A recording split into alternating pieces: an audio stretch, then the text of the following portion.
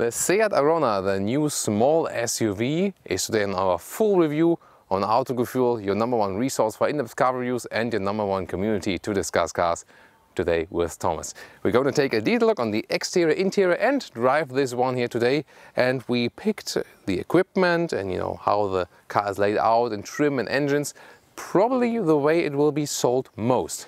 And we will also show you different colors, different exterior and interior trims, Xcellence FR and also drive another engine, the 1.5 liter Evo. So a lot of variation. Let's take a look at that in a close-up here in Full HD, full screen and full length. Let's go!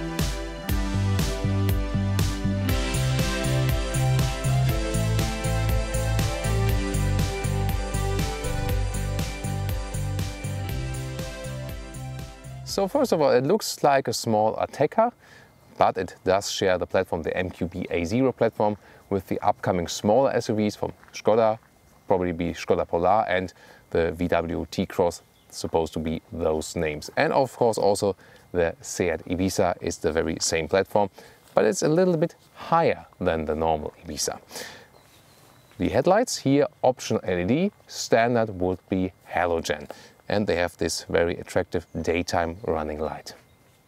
4 meters 14 or 13 foot 6 is the total length, so it is still a small car. It is 3 centimeters higher than the normal Seat Ibiza, so more the crossover, the small SUV, but also 8 centimeters longer, so you have a little bit more boot space. We'll take a look at that very soon. However, you still have the very compact sizes or small sizes and it is only about 750 euros more expensive than a normal Ibiza. It starts at about 16,000 euros, taking German reference prices. And when you go a higher trim level, this one here's the style trim level, so more middle trim level. I'd like to show you that. If you go higher, you're about 24, 25, also com combining with the engines. So still a relatively good offer. What else can we see in the side profile? Those plastic bumpers in the lower part to ensure the off-roadish look also around the wheel arches. 17 inch rims, which are totally enough, you know, from the size. I think they look pretty well on the car. Also you have the design line on top of the door handles. And then it gets exciting because you can get a contrasting roof, optional. You can also get it all in the vehicle color. But then it is possible to have gray, black or orange as the contrast color no matter which other color you pick. And overall there are 68 color combinations available then. And if you have the contrast roof, but also if you put it just in a vehicle color, which looks to me a little bit more elegant. The question is, do you want it rather elegant, then pick the same color? Do you want it a little bit more extraordinary? Then go for the contrast as seen here. And this X blade basically here feel a little bit like the X-Men. This is separating the roof area and the lower part. So even if you pick it in vehicle color, the top part, you still have this differentiation right there to have something, you know, like an extra eye candy effect.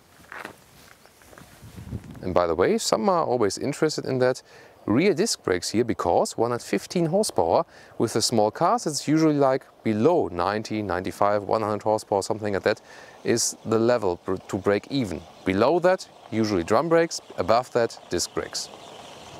And now to the rear with those led taillights also horizontally drawn. It really looks like a normal mqb hatch in the rear like many other cars Uh, so the more spectacular feature is surely the side profile. but SUV-ish alike. You get the plastic bumper in the lower part. This is really handy, especially for you know smaller bumpers that might happen in the city. So they've also thought about the practical effect of this vehicle. And the Arona, the badge, is actually quite prominent. This is maybe also a new trend among the newer models coming out now to be more open also about the model name, not putting it very small there, but really like, hey, this is me, I'm the owner. And now to some more variation for you. We have here a Nevada white car, and this one here is Desire Red. This one here is Xcellence, and this one is the FR trim level. The FR trim level, you can also see the logo in the front right there. It looks a little bit sportier. More changes, of course, to the inside also, which we're going to show you later, the differences there. And also the FR can be bought in the combination with the 1.5 liter Evo engine. So the thing is, those two are basically connected. You can get the FR trim for other engines, but you cannot get the engine with another trim level. Did you get that? It's a little bit complicated, but that's how it is. so let's take a short look around, some other features right there, and later on also compare the interior. On this FR vehicle we have the maximum rims attached, 18 inch in a two color scheme, pretty impressive for sure. And we also have the black contrast roof in combination with the Desire Red. Again, you could also have this car completely in Desire Red, which would be, I think, among my favorites for sure. Other than that, you see uh, even the base model Arona, they look pretty much the same. It's more about rim choices, exa exactly, um, you know, how impressive do you want it to look, a little bit sportier, a little bit more off-road-ish, so that's really up to you. So I'm hiding in the woods here. There I am. Let's take a look at the rear here. So the FR also has a sporty rear way with those uh, fake exhaust tips. They look, of course, a little bit sportier. Again, you can argue about if fake exhaust tips are useful or useless. I don't know. And FR, both in the Xcellence, they also come with this uh, bright plate here in the in the lower part. So that stresses again a little bit of the crossover look. Um, I think the you know the, the gray part it does fit the vehicle. Or what do you think? Here with the Xcellence vehicle we have a white and gray mix. Again, colors are of course not bound to the trim levels, so you can get either paint. But just to show you some more variation, what is possible with the vehicles. We've got the same optional 18-inch rims mounted here. And also in the rear you can see that we have the, uh, the gray element right there, just that the Xcellence does not get the fake exhaust tip that the FR has. So which trim from the exterior do you like best so far? And which color do you like best? Of course, we will see also those two additional vehicles very soon again when we compare the interior to show you some stylings and trim levels there too.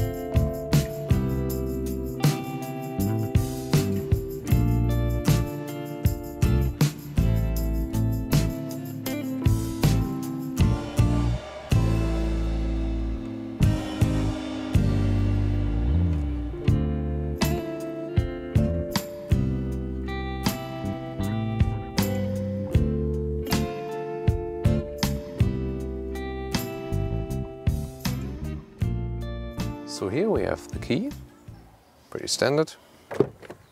Solid door closing sound and actually solid door handles. Then they have some spots where they saved money to keep the price low also.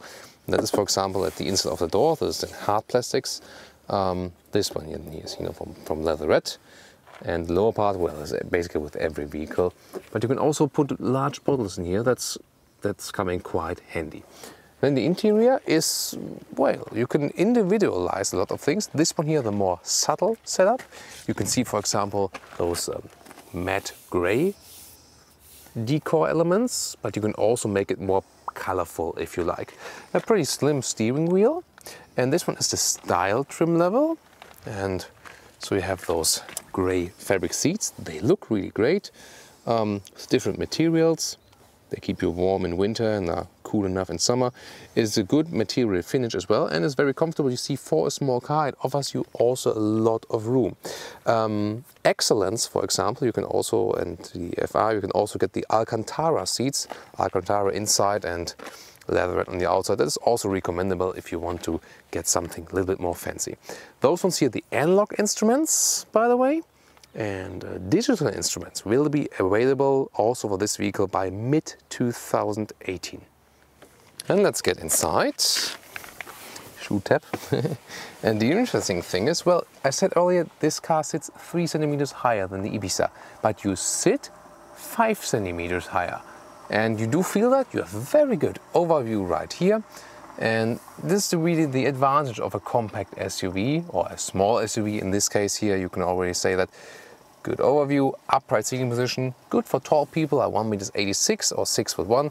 Enough headroom left, definitely. A lot of space to move around. And again, you don't have to crouch in that much. It's also an easier entry and getting out again. steering wheel can be adjusted in all the areas. It's very good uh, functionality, that's for sure. And a bright ceiling here today, by the way. You will soon see more deals about that. Manual pumping up your the seat, but that's totally fine. Not everything has to be electronic.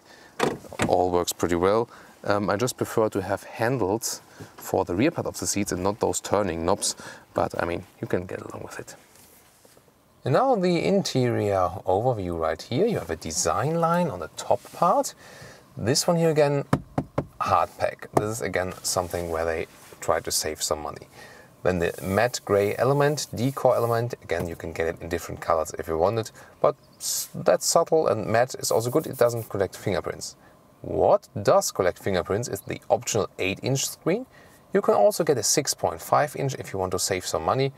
The 8 inch then the full glory screen here with two knobs still left, that's different to some other modern infotainment systems. Soon more deals for that. AC unit below that.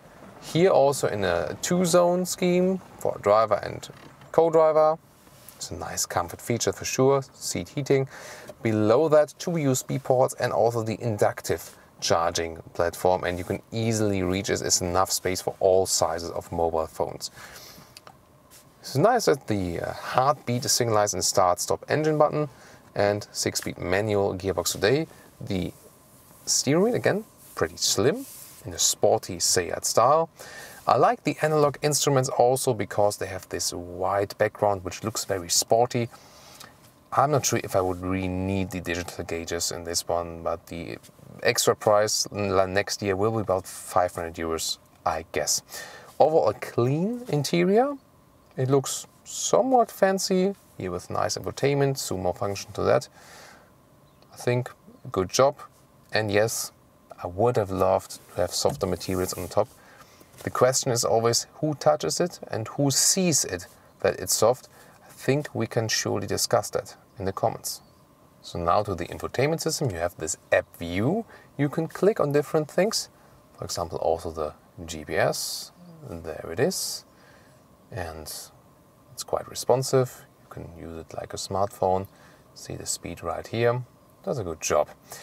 You can still zoom in and out with the knob. That's, you know, quite good function, especially while you are driving. And you also have those hotkeys on the left side for radio, for example, for media, also to the phone Bluetooth connection. That's one thing. This one, the last one, is for speech, um, you know, speech to input. Then the GPS hotkey in the right part.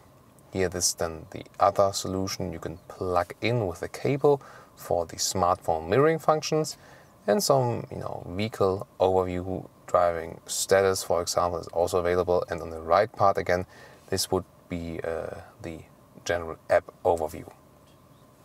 And by the way, if you put a smartphone in the lower part which does have the inductive charging option.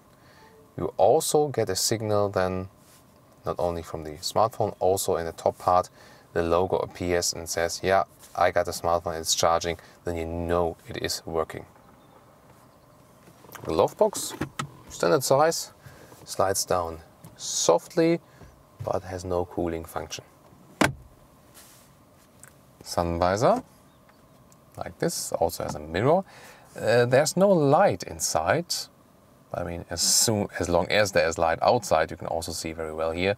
You know, uh, we were recently asked also to show this one here. It's the same, by the way, on the co-driver side that you can, you know, check your makeup a little bit or maybe just stare at yourself and say, wow, I look really great today.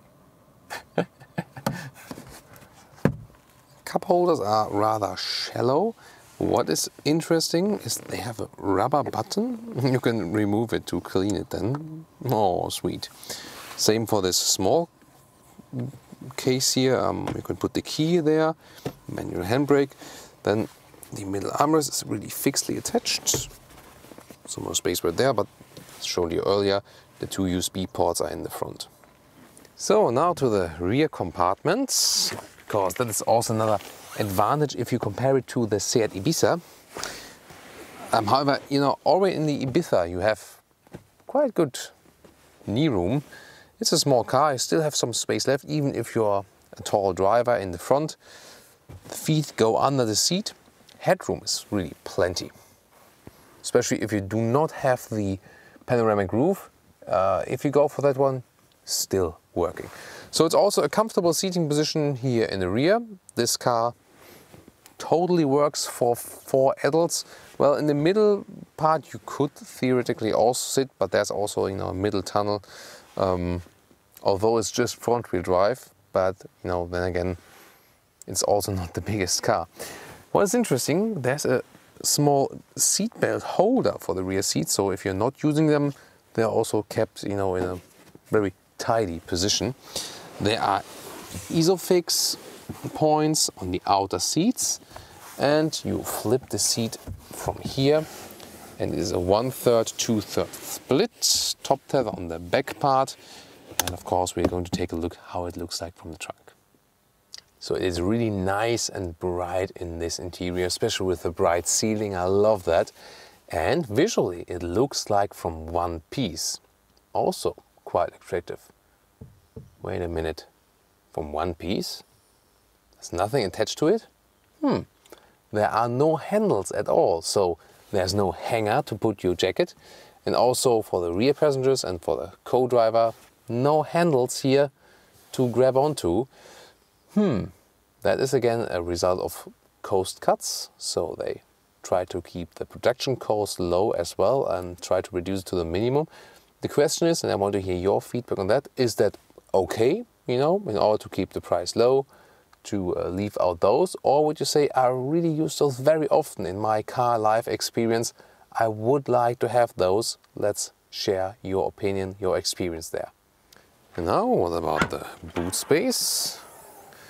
Here we are. So you can have this even loading still if you like. 400 liters is the capacity, by the way. And it is also possible to put this one lower like this. Then you have a little bit more space in height.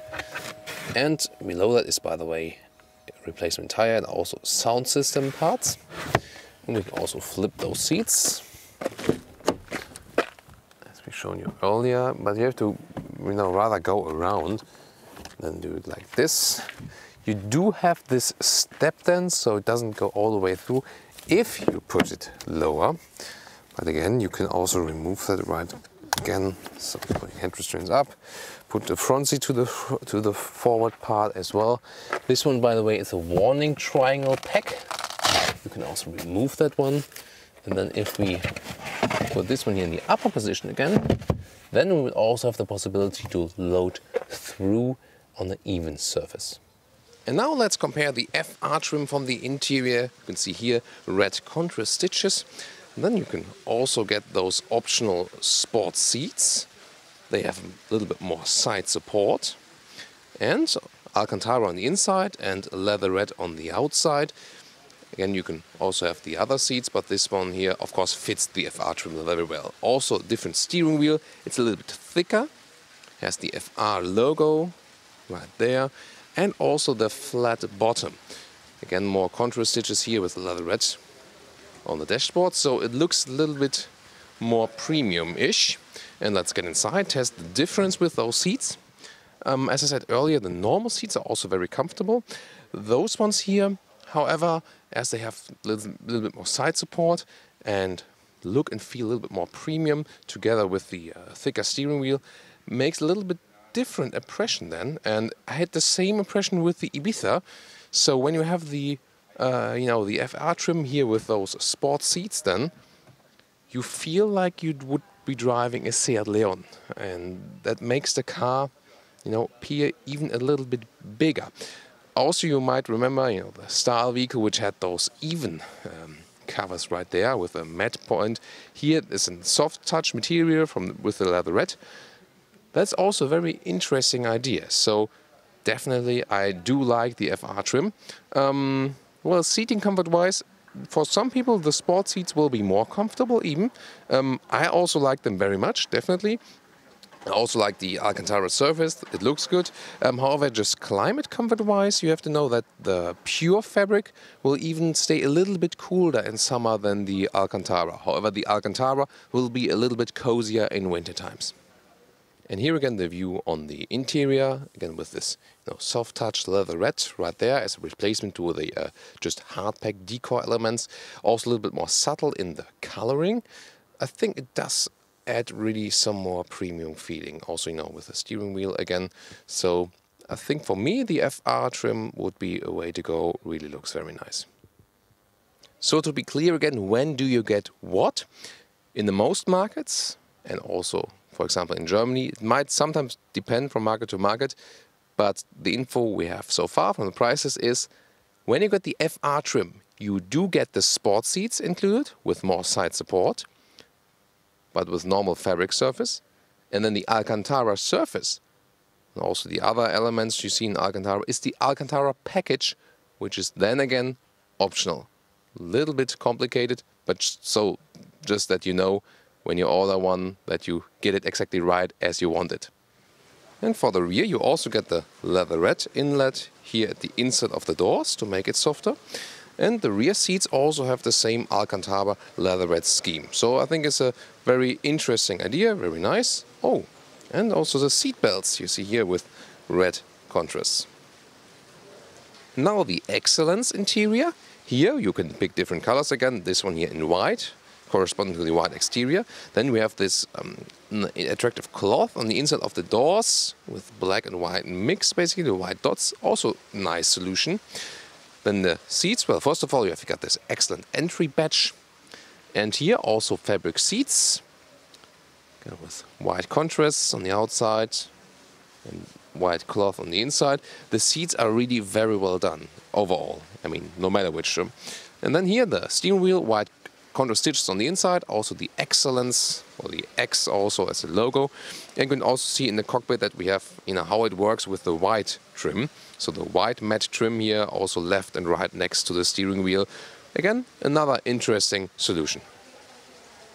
And that looks like this here in our Xcellence trim in the rear. And if we take a look here at the rear seats, same interior style.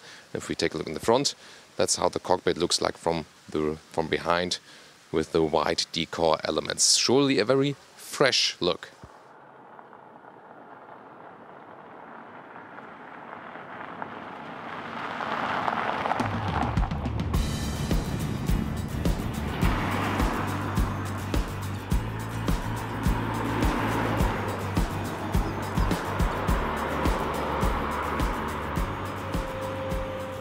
So as for engines, what do you need to know? 95 and 115 horsepower, both for petrol, as we see it right here now.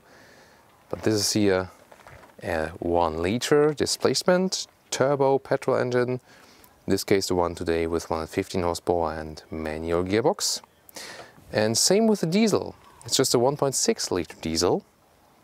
The only difference is that with the diesel, the 95 horsepower variant can be combined with DSG 7-speed and here the stronger one, the 115, today with manual hand drive, but this one could also be combined with the DSG, with the dual clutch transmission. And what else do you have available? You also have the TGI 90 horsepower CNG engine and also the 1.5 liter Evo 150 horsepower. That would be the top engine.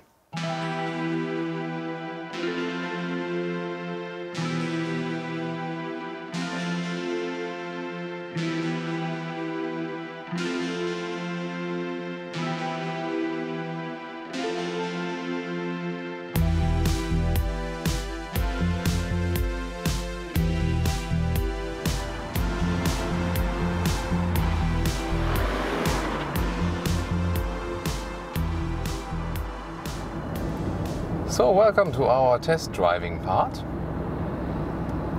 And we will start today on the motorway.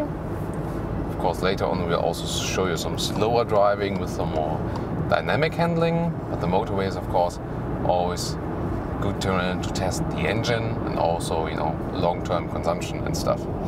So um, what about some first acceleration when we go from 75 in the third gear to 100? Let's go.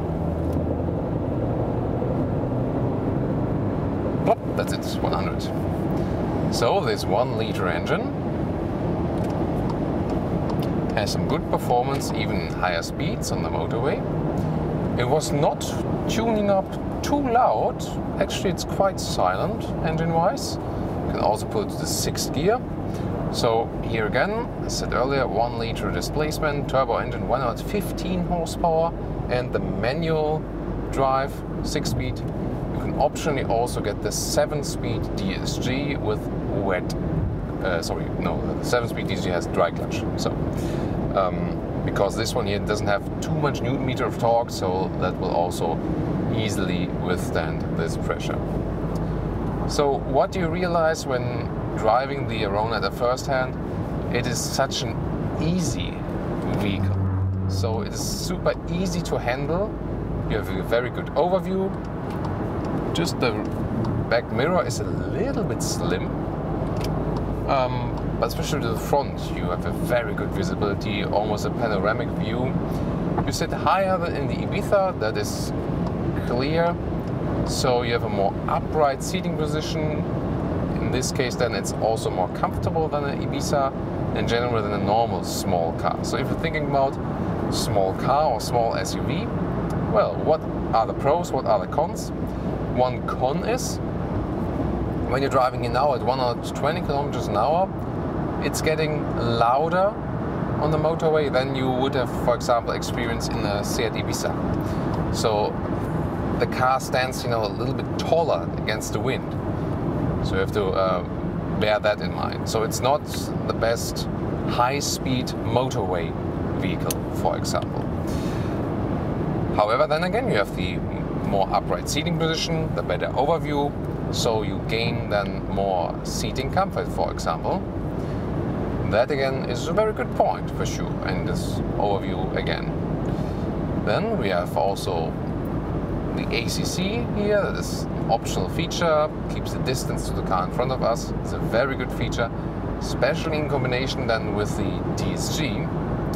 Um, I would really say uh, this one is probably the most comfortable combination, ACC plus DSG, because then the speed is also reduced until zero. Uh, with the manual drive, at some point the engine would be stalled, you know, and then uh, you cannot reduce the speed even longer. The car feels very stable on the road. And again, I think the most crucial thing is that it's so easy to control. You start driving, you feel eased, feel so much in control and you don't have to learn the car. And I think that's also really crucial. So what about lane changing? Also at higher speeds the car remains relatively stable. So suspension is not too soft. Of course it's a little bit softer than we would have had in a, in a Ibiza in a, or in a Polo, in a small normal car which is not an SUV. But it is firm enough. I think they found a good compromise, and also, uh, you know, how bumps are evened out. Um, you know, here we also do not have the adaptive suspension, but no, we don't really need it. It's not uh, not entirely necessary. So you'll be just fine with the standard suspension, and I can really say you will definitely be very happy with it. Three-cylinder sound, by the way, is at some point even quite nice. It's um, funnily sounding sounding better than the four-cylinder sound. You know, when you push it also, you know, in higher gears, for example, it's really funny finding too. So shifting, I found it very smooth. Um, I think some other testers mentioned that it would be somehow, you know, not smooth enough, but cannot share the view. I think, uh, you know, the way you shift is not really long. Also, don't have big resistance right there. It feels a little bit sportier than, for example, in the Skoda Fabia. Let's see where we go. Go here. So you're you're actually still agile enough. You can see it right here. Also, the pretty slim steering wheel adds some sportiness. So very well in control. You see here, there's no not too much tilting from the vehicle. So again, suspension is a good comfort, compromise, good control.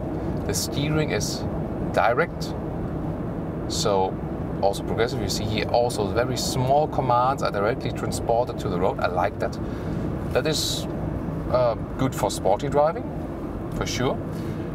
But it's also good when you're in the city, for example, and you know, searching parking lot, turning the steering wheel around all the time that's also coming handy for that. Then if you look to the side mirror, there it is, the blind spot monitor, which you can optionally get. Very useful function. I like that. But more important is that the front assist is uh, included in the standard equipment. So uh, that is the autom uh, automatic emergency brake. If you you know miss something at some point, especially also inside the city, I think that's very crucial. And the blind spot monitor would probably be the next feature I would definitely go for because it can really save lives. You know, at some point everyone has missed or will miss a blind spot right there, then it's really crucial. So now we're entering uh, city of Barcelona to show you some more city traffic. That's of course also a big part of this vehicle. Again, the blind spot monitor active. If you're not driving too fast, then it's also better with the sound insulation. You really feel a difference to the Ibiza. It's only happening when you're at higher speeds because the car stands higher. So that's again, I think, probably the only disadvantage we have here with, with this vehicle if you compare it to normal small cars. You have to live with that then. So let's see when we're at about 80 or 75 kilometers an hour, fifth gear, then we're running below 2000 RPM. Um, I've been riding fairly a steady speed now.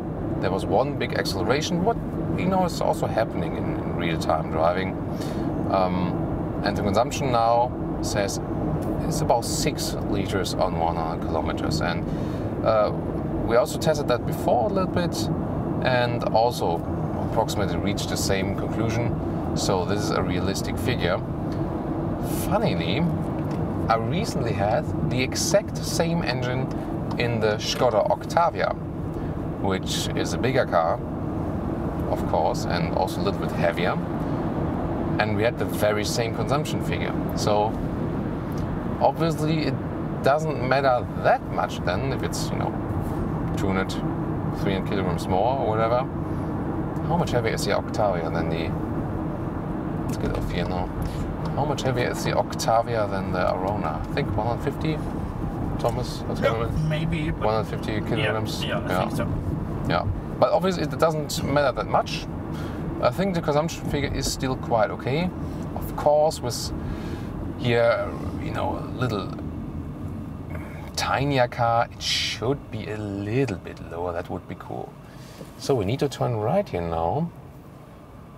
But I'm not sure if I'm allowed to turn right, Well, I could, but if people leave me through, we could check if that's possible in Spain to get from the very left lane to the outer right lane.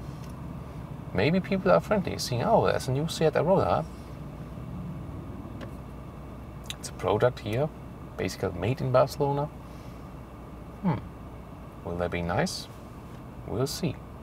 Here when standing still now at a traffic light, just here a little bit from the AC, uh, which we you know, have a two-zone control here, optional at the moment, so we can control it to our needs. So the first lane I can easily get. Will someone leave me through there? Very nice people. Gracias, muy bien. so that's it's how it's supposed to work. And then we can also be nice and let some people walk over the road. That's how traffic is supposed to work. Be nice to each other, and so someone else will also be nice to you. Wow. Now, good thing to test the sunshade, and it's really well blocking out the sun. Although I'm still able to have a wide windscreen view, so that's also good. So that's now I think straight, right? Is it straight or is it? Uh, I think right like there. Right. Yeah. So a little bit confused. But I mean, in, in general, the GPS has a good view. Um, think it's yeah. Now we have a good good zoom. It was a little bit too late with the zoom, but other than that, you have a very good visualization. We also always cancel the voice commands when we drive, of course. I think it's also a good experience to tell you if you can really find a proper route according to the GPS.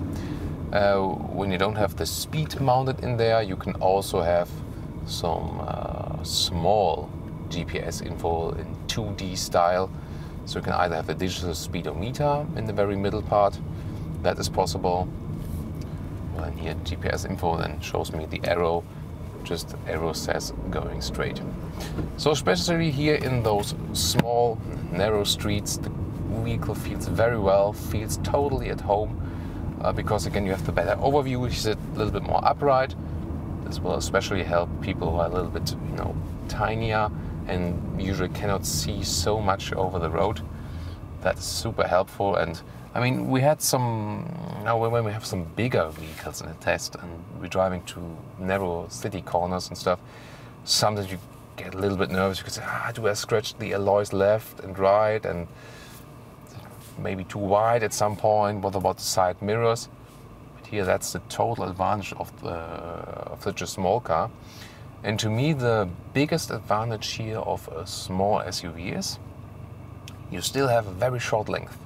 Car is not that wide, but due to the upright seating position and the, the comfort that the small SUV is offering, you still feel like you would be driving a bigger car comfort-wise I think um, that's really the, the biggest strength. And um, you know, for, for most people, this size will also already be enough if you just think, you know, in a, in a practical way. Also, I mean, we showed you earlier that even in the rear, you can uh, you can fit more people. That really works. So this car is definitely at home in the city. From driving, I think we could take uh, a lot of positive aspects. Now the last driving part, we'll drive a little bit more agile. Uh, we're driving up um, Montjuic, Barcelona. Inhabitants will surely know that, very famous, but also a lot of tourists, of course. Uh, so many tourists coming here. They, uh, you know, it's changing a little bit. Some inhabitants here say, you know, it's becoming too much of tourism. Prices go up too much, and everyone is doing uh, Airbnb and from the flats normal inhabitants are removed from their flats basically, so that's surely a problem. Then again, of course, the tourists also bring the money here. There's always then, again, pro and contra. I think the shifting is really totally fine. So I like to shift right here. Oh, there's a old Seat 124. That's so funny. I mean, look at how design has evolved. And uh, probably you've seen uh, recently the Seat 600D vintage car, small vintage car review. If you haven't done so far, I can really recommend you to do that.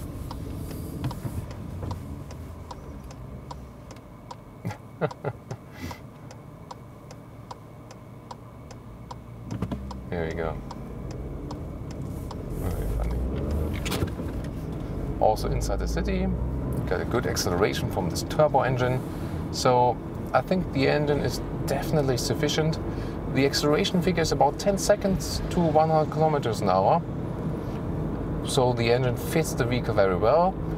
If you go for the 115 or the 95 horsepower version, mm, does it matter that much? I don't think so. Uh, a big step would be the 1.5 liter TSI. Really some strength you're using that car for sportier driving, also maybe need more acceleration on the motorway.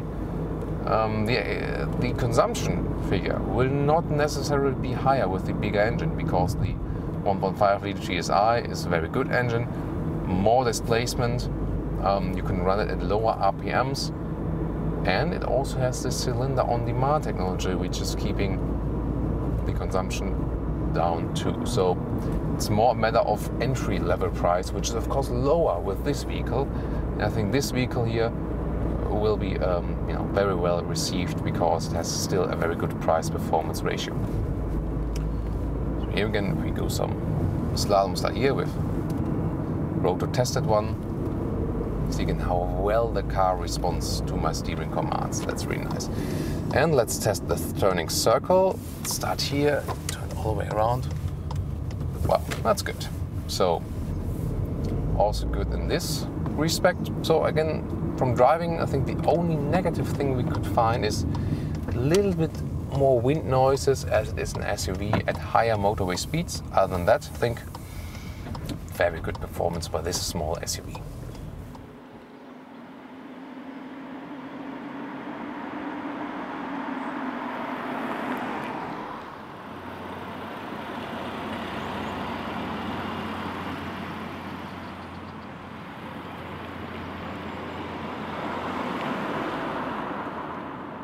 Now another driving part with the 1.5 liter Evo.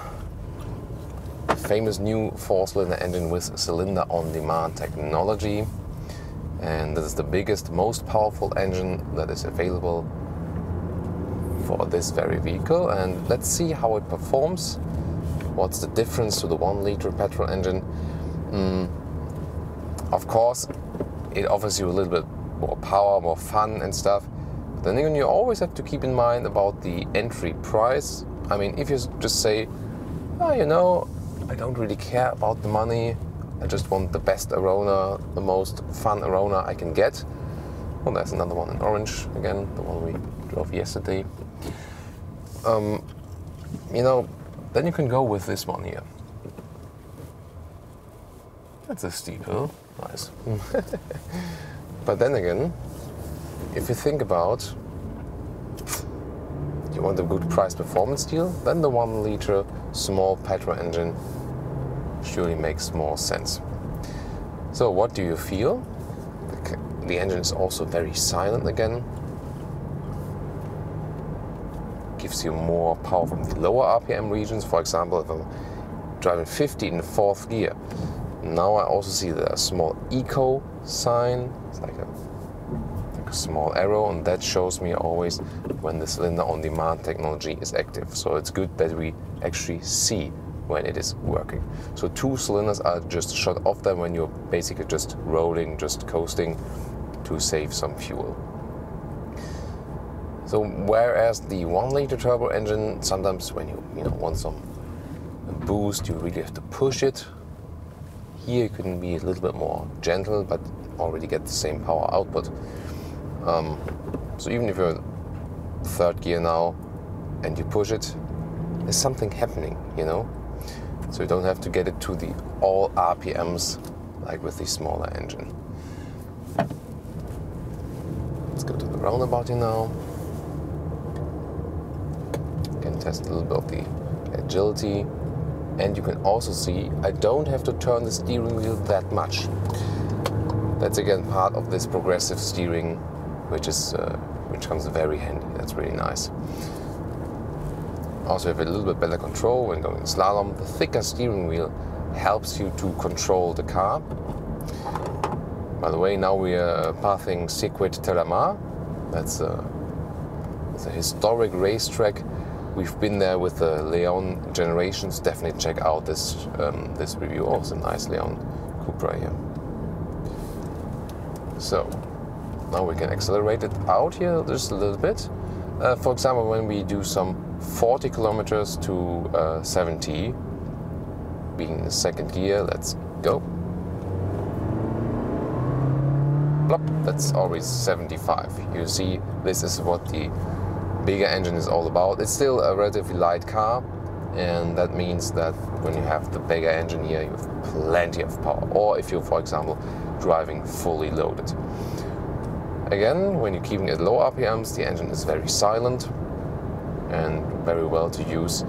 Even on the fourth gear, you can push it, turbo sets in, get more power. Um, at the same time, it does not necessarily mean that you would have a bigger consumption. So that really depends on how you drive it. Um, let's go to the driving data and reset the consumption because when I'm not doing the acceleration test now and driving it just a little steadier, let's see what we can get. Remember in the other one it was around 6 liters. Also a lot of motorway part as we had here today. Sometimes when you take the bigger engines but let it run at a little lower RPM, we sometimes even scored less consumption. So let's see how that one plays out here. Again, the car has a really good handling, although it is an SUV. Yes, and the Ibiza does drive sportier, but you know, it's just a little difference. As they share the same platform, you also get good agility from this one here. So easy to control steering wheel, six-speed manual again.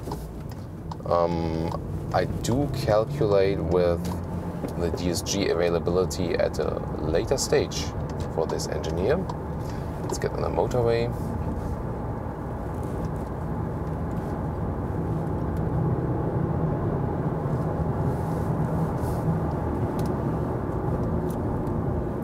The shifting, by the way, is uh, again a little crisp. You know, crisper as we expect. Sometimes we have that's just flawless. You know, it goes all the way through without any resistance. Here's some resistance. If you want that little sporty driving feeling, you would appreciate that. Good overview, although the side mirrors have those, you know, sharp design, but it goes quite wide, so you can see very well there.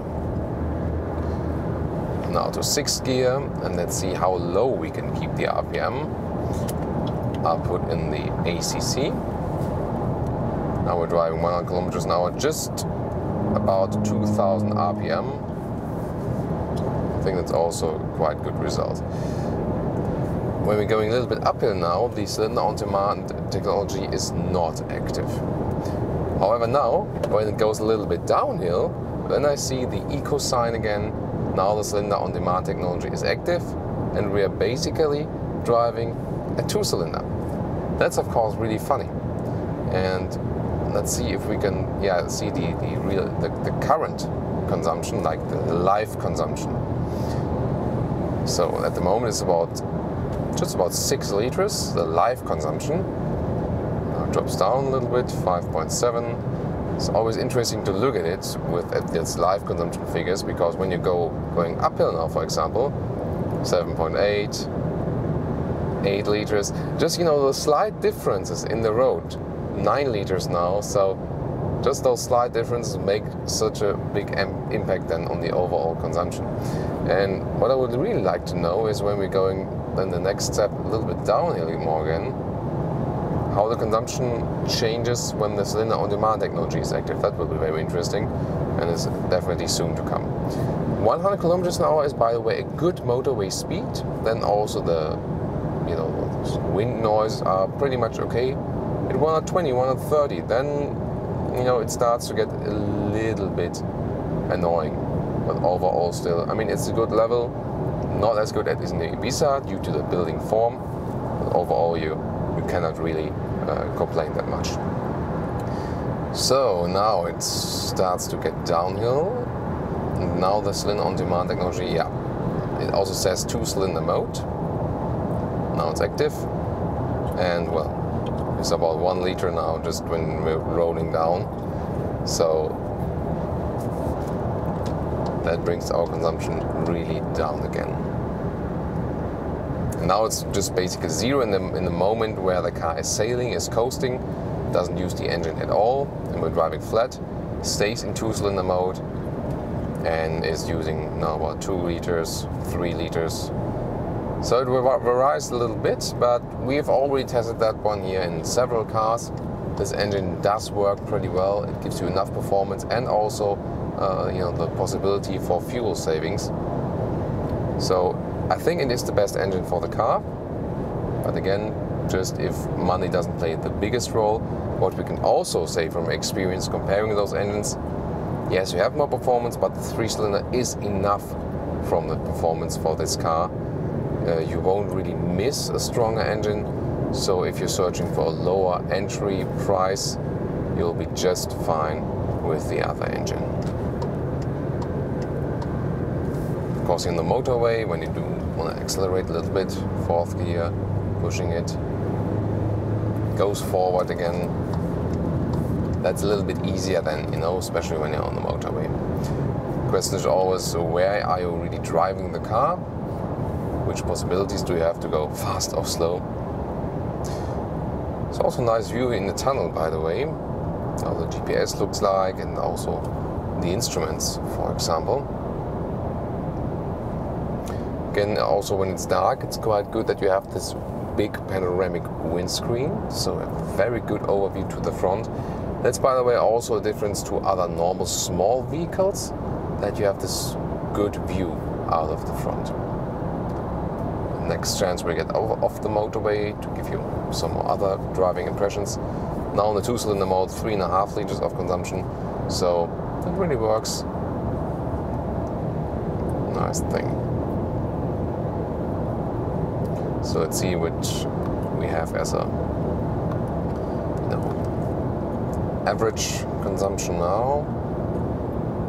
About 5.9. So and when we have you know basically off here as well? So we have to first pass the peage. It's really annoying thing, annoying thing when we're driving on Spain or on France you always have those peage stations. In Germany, it's all free, the motorways, but there are also some politicians who want to change that, and we have to see how that one plays out. so, um, you see here that the bigger engine, when we have compared them in motorway driving, basically has the same consumption, maybe at some point even a little bit lower and I think that, you know, stress the point which we made earlier that downsizing is not necessarily good for the consumption. Maybe you can offer them a little bit cheaper, for example, as the entry price level engines. Um, but you know, it's about the regulations from the EU that concentrate on CO2 output on paper. That's the reason behind it. So overall, Again, a good driving performance here with the 1.5 liter engine. Which one would you actually go for?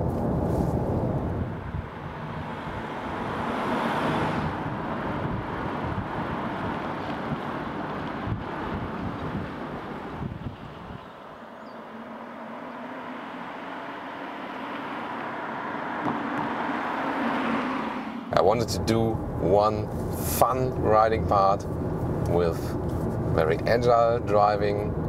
So this one here exclusive then with the Arona FR with the 1.5 liter Evo. You can see again the performance, the steering. I can keep my hands at the steering wheel. Don't have to grab over. Basically, how steep the corner is, you know, the angle is then mirrored in the in the you know in, in the steering. That is really good.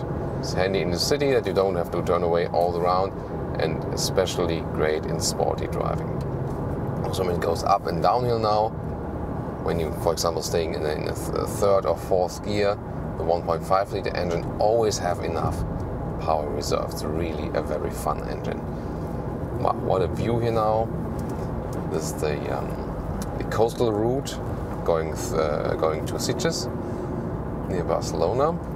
It's always a you know very nice road to drive. It's uh, really hard to get out and film from the outside here.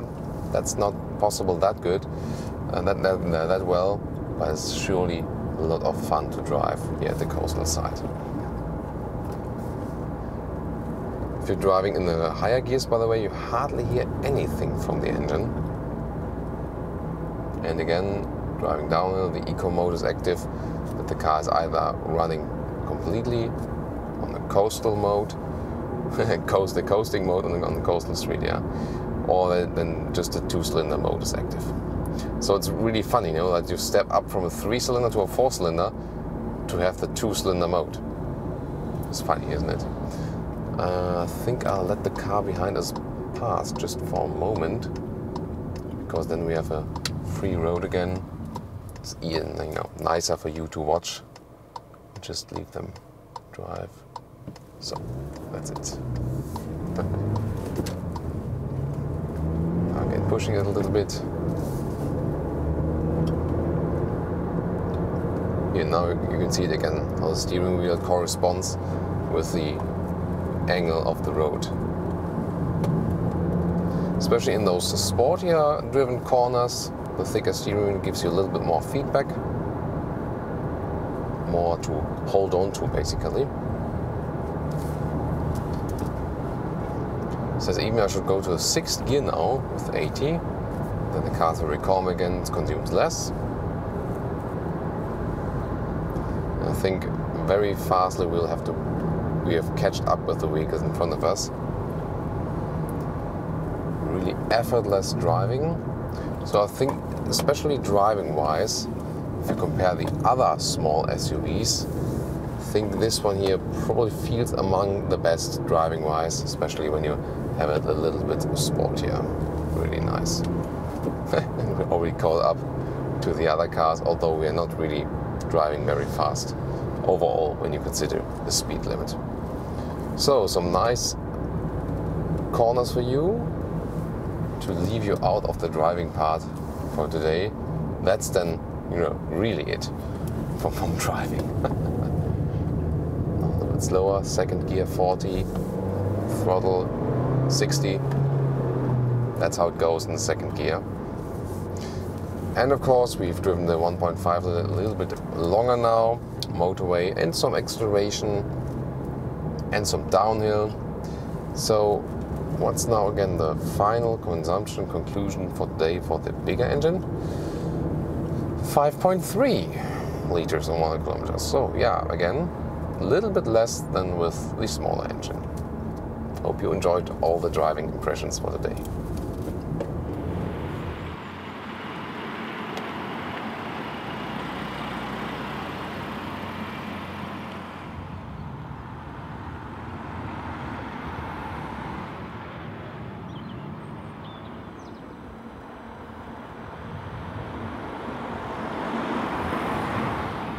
And now to our conclusion, Seat Arona. Overall, a good price-performance ratio, a very versatile car, definitely. Not too long on the exterior, but still a lot of room on the interior, that's important. Very good build quality on the, in, on, on the interior. Yes, some cost-saving parts we have found, which could be a little bit better, but in your overall driving life, most of the things uh, will not play the biggest effect. We've shown the style interior today. There are also other options available. You can also individualize the car. Driving wise, it also performed very well in basically all of the situations we had. It's an easy car to drive. It's very comfortable.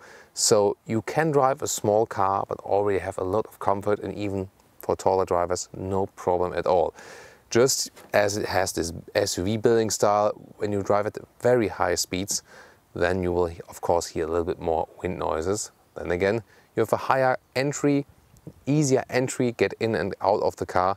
So it serves many modern needs, you know, for people who want more comfort because they maybe you know, a little bit older now. Then again, for younger people to have, you know, more possibilities, maybe also uh, suitable even for a small family, because even though it's not that long, you still have also a bigger boot than with a normal uh, non-SUV small car. So this vehicle really has a lot of advantages. It's not exactly my personal design favorite with the contrast roof, so I would rather go with you know elegant line with, uh, with one vehicle color. But I mean, why not offer it to spice it up a little bit? And you know, if someone likes it, I think it's good that you also have this, um, you know, this option to go for. So I think this is it about today for the Seat Arona definitely a very hot competitor in this very segment. A segment in general is booming at the moment. One of the very, you know, very little segments that are still thriving worldwide. And you know, it's not too big, it's not too high, but just right as you need it. Basically, it's all the car you need. Thank you so much. I would look forward to your feedback to this very vehicle, exterior, interior, and what we've shown you while driving. And um, you know, we've already shown you some of the competitors here and will of course continue to do so because there are a lot of new cars at the moment in this segment and of course we'll continue our coverage there as well. Thank you so much for tuning in. Also support the whole team and tune in next time.